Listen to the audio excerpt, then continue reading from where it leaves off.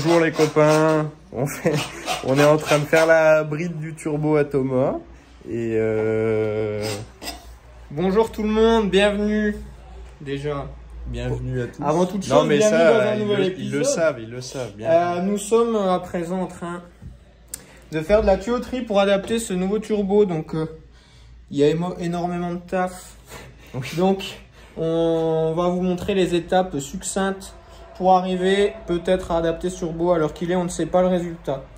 Euh, donc on fait, on a une entrée en 63.5 et une sortie en 76.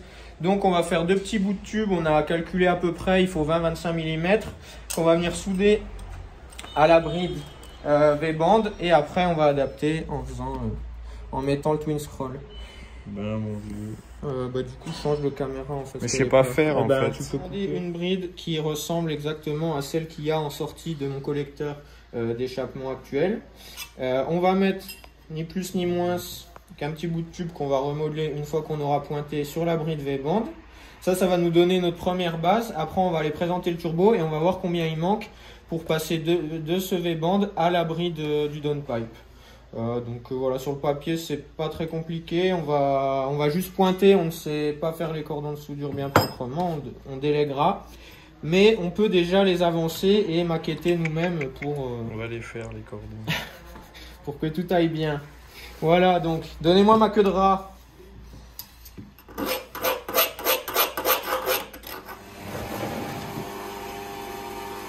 Safety first. Euh, on la dégraisse, non, avant? Du... Nettoyant fin. quoi.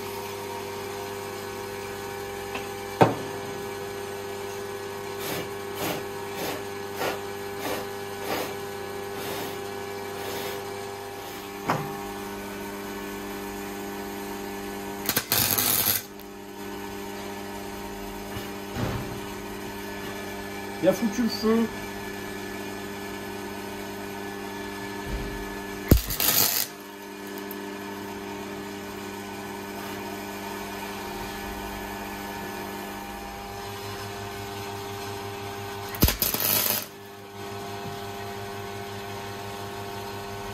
Voilà.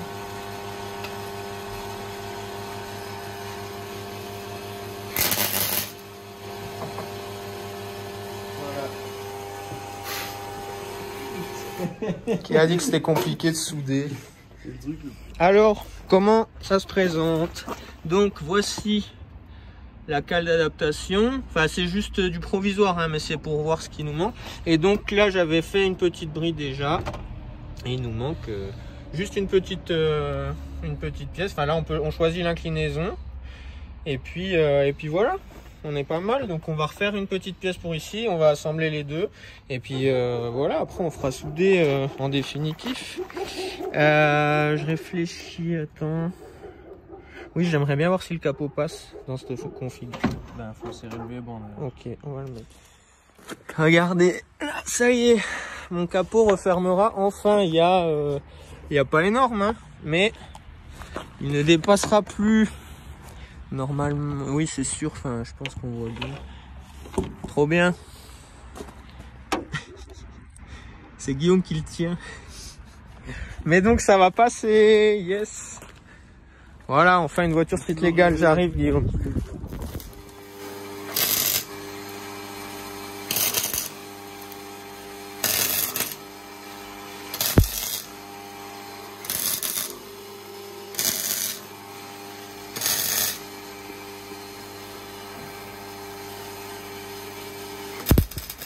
Bon, voici les gars, après euh, quelques longues minutes de, de soudure, de meulage, d'agrandissement des trous, euh, on devrait être capable de la serrer euh, en mode définitif pour pouvoir maqueter eh ben, le deuxième petit bout qui va nous permettre de rejoindre le downpipe.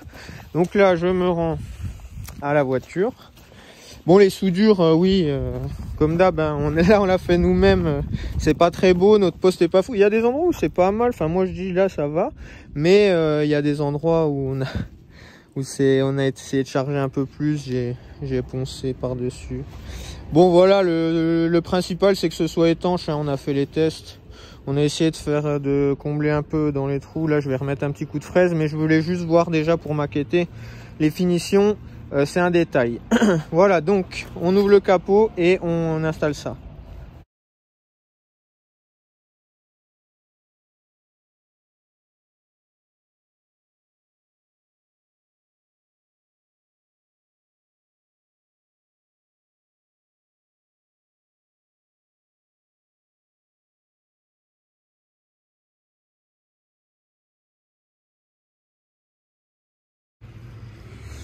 Bon, donc du coup, tout est euh, à peu près en place. Donc là, j'ai euh, utilisé donc la nouvelle bride et j'ai fait un petit patron en carton. Et j'ai juste euh, dessiné l'angle, donc je vais, c'est vraiment du provisoire. Là, je vais faire un, premier patron en, bah, en inox et après on le, on l'affinera pour que ce soit bah, pile poil et qu'on puisse pointer pour se relier. Donc bon, c'est peut-être pas la meilleure méthode, mais je pense que ça peut fonctionner. Donc on va tester comme ceci. Je vais aller essayer de reproduire ça sur un tuyau. C'est pas évident. Je ne sais pas si je suis dans le bon angle. Mais ça va me donner une base un peu plus droite parce que à la disqueuse j'ai du mal. Bon après quelques, tentatives, euh, j'ai fait des petits euh, bouts de tuyaux. Euh, on se rapproche de la vérité. Donc là, euh, tout serait à peu près en place. Bon, il y a des jours, euh, des jours importants comme là et là parce que c'est des, celui-là c'est un, brouillon. Je pensais pas l'utiliser, mais voilà ce que ça pourrait donner.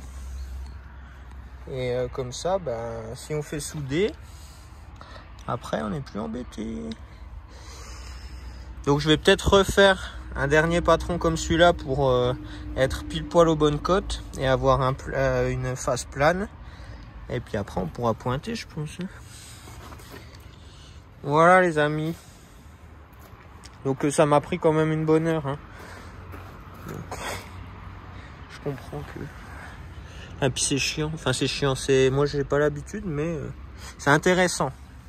Voilà, donc après, il va rester juste l'alimentation d'huile, le retour, le refroidissement euh, liquide, on va pas le mettre. Enfin, par LDR. Et puis, il faudra qu'on fasse le nouveau piping aussi. On va voir comment... Euh, je, vais, je vais maqueter avec mes anciens bouts de tube. Et comme ça, je commanderai tout ce dont j'ai besoin. Et après, radiateur. Enfin, on va mettre le radiateur d'abord aussi pour être sûr que le piping ne gêne pas. Bon, pour changer deux minutes du turbo, j'ai placé le, le nouveau radia pour maqueter. Donc on voit que la durée là c'est bon. Et c'est ce que je vous disais, celle-là du coup devient trop courte il faut la rallonger. Euh, Guillaume en a une, mais je vais essayer d'en trouver une. Euh, soit je rallonge ici, soit j'en retrouve une complète. Euh, là, pareil, je vais modifier. Parce que de toute façon, on va refaire des pattes pour fixer le l'échangeur. Mais bon, là, bah, ça devrait laisser la place quand même pour un spal. Et puis, on va pouvoir orienter le piping normalement. Donc je suis content et euh, vraiment ouais bah du coup plug and play. Euh, je sais pas encore comment on va le fixer. De toute façon il bouge pas, il bouge pas trop mais on va le fixer quand même. Mais ça fait un beau bébé. Hein.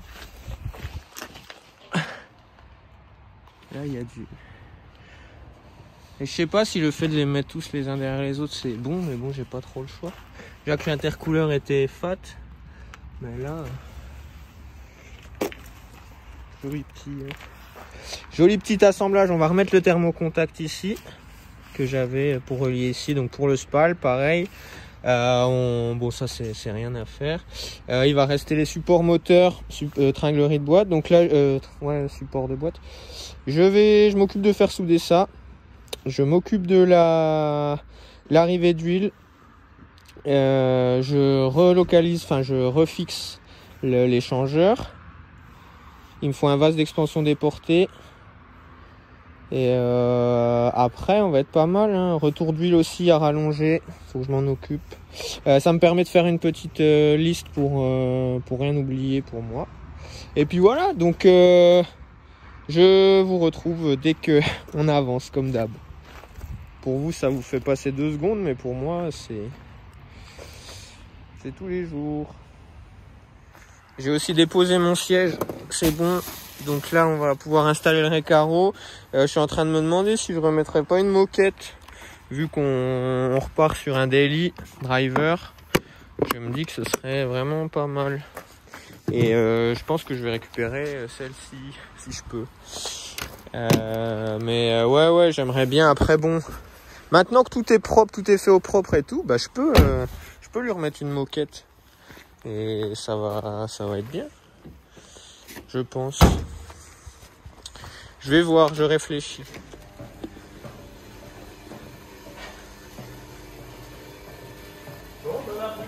Bon après-midi, Nico. Bon les gars, on a tout ramené, j'ai tout maquetté. Et là, il est le temps de pointer. Alors, on va nettoyer, dégraisser. Faut que je te montre Guillaume, parce qu'en fait, faut que je l'appuie un peu, ça permet de... Ouais, je vais mettre des gants aussi. Et puis voilà, hein. comme ça, ce sera une fois que c'est pointé en place, on fait souder et au moins on est sûr qu'on a la bonne euh, inclinaison et tout ça.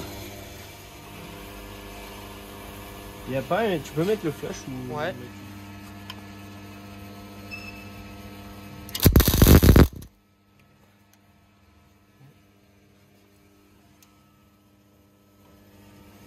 Fais un deuxième coup sur la bride.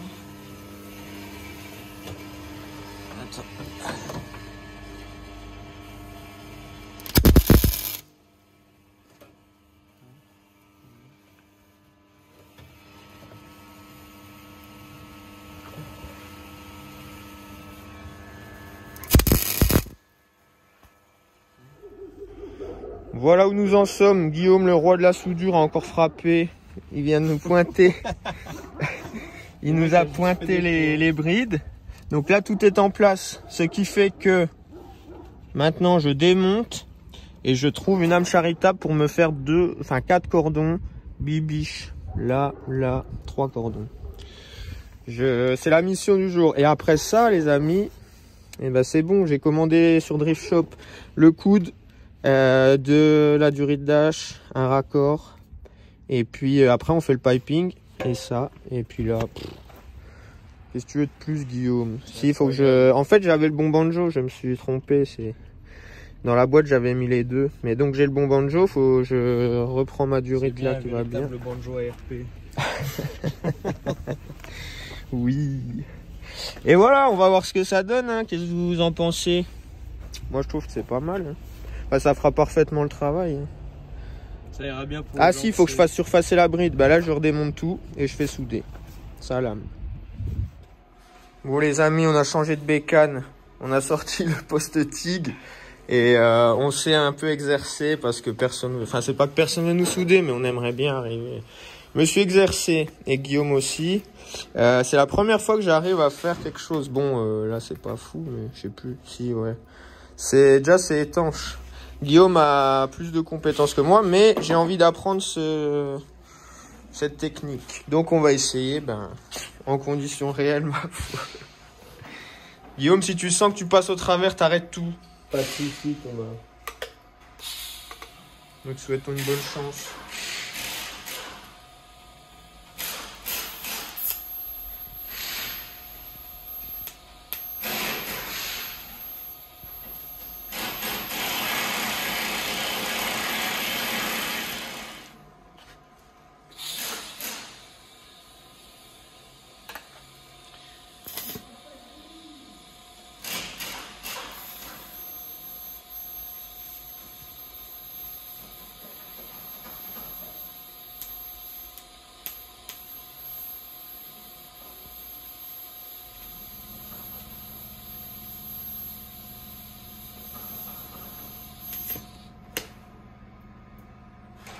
Peux mettre encore plus.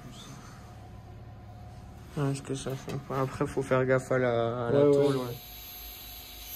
Oh. Waouh. Et je me suis encore piné. Ah, c'est pas grave. Sur la fin. Maman. Ça y est, Guillaume est capacitaire. Il s'est soudé. Ça a pris du temps. Mais... À chaque fois, quand je veux retirer le truc, je fais toucher les dents. Ce n'est pas grave, Guillaume. Ça avance les copains. Yes, là je suis grave content. Ça c'est la reprise. Donc là j'ai pas repris, j'ai juste continué derrière. Et là tu vois c'est. Mais ouais, c'est. Bravo Guillaume. Je vais tailler ça.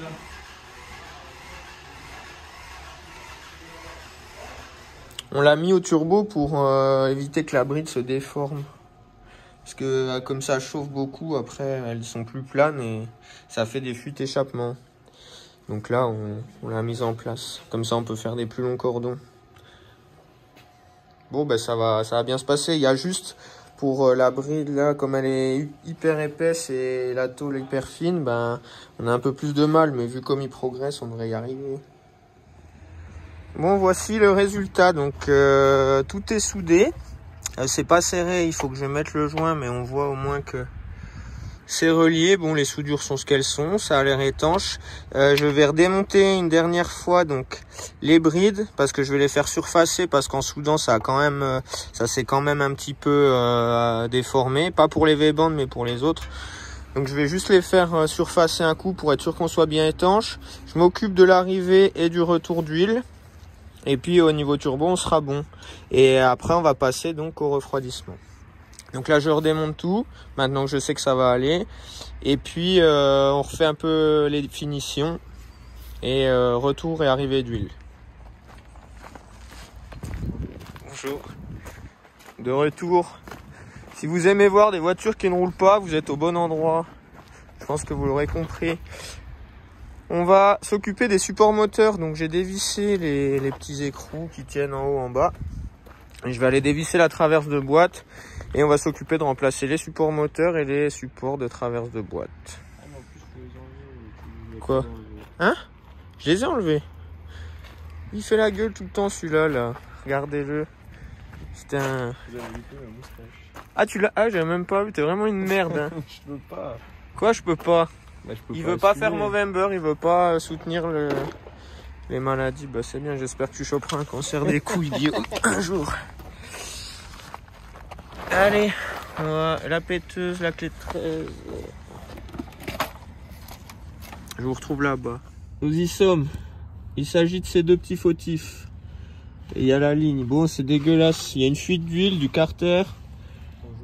Donc euh, c'est pas très propre, mais c'est pas grave. On démonte là et comme ça après on soulève le moteur. Faut le rentrer par euh. Yes. Ou alors par où Alors pour la traverse, ça c'est les origes et on va récupérer donc ça. Et voici les nouveaux. Donc déjà, Ouais. Il s'était euh, fusionné avec le- J'ai dû le taper pour qu'il sorte. Ah ouais? Voilà, donc au moins ceux-là sont en dur. T'as pas pris la bonne taille? C'est parce qu'ils sont tellement résistants que. Bon donc hop, ça ça va prendre ça.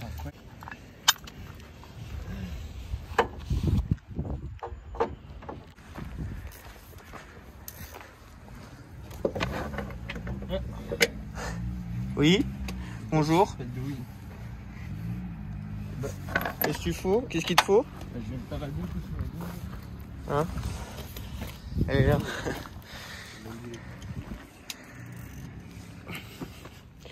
Ça y est, nous y sommes. Les supports moteurs ont été remplacés.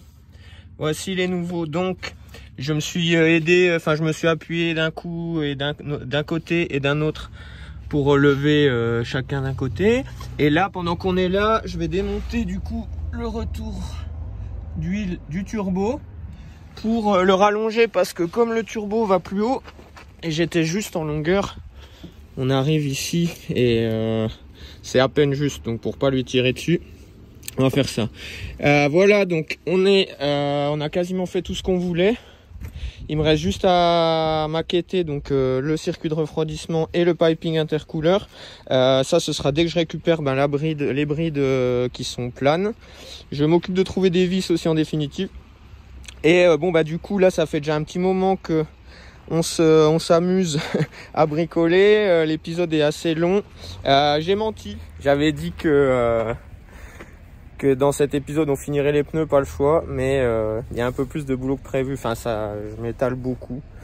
Donc, ce sera pour la prochaine fois. Il y a un gros épisode sur la E30 qui arrive là, qui est en prépa. Je reçois les pièces euh, cette semaine. Euh, donc, euh, restez connectés, abonnez-vous et puis partagez ça en masse. Dites ce que vous en pensez, donnez vos conseils sur la soudure, sur plein de trucs. Si vous voyez des trucs que je fais mal et qu'il y a des trucs, parce que oui, dernière petite précision. Les mecs qui viennent me demander des trucs, ça me dérange pas du tout, ça me fait plaisir de vous aider.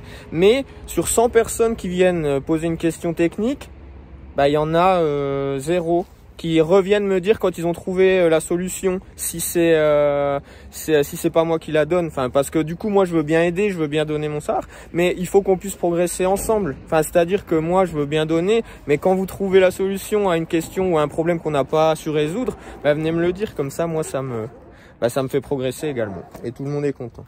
Voilà les gars, euh, désolé, c'était petit coup de gueule de fin.